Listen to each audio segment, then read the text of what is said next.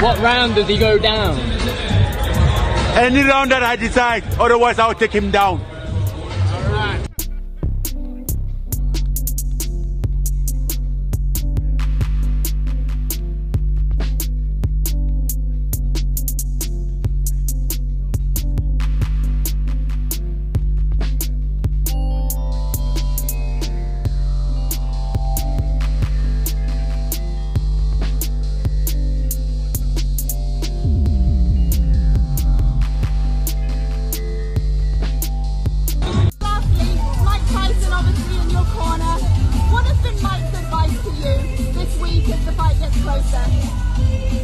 That uh, it's possible Tyson Fury is just a man and then I'm a beast and then I can take him down.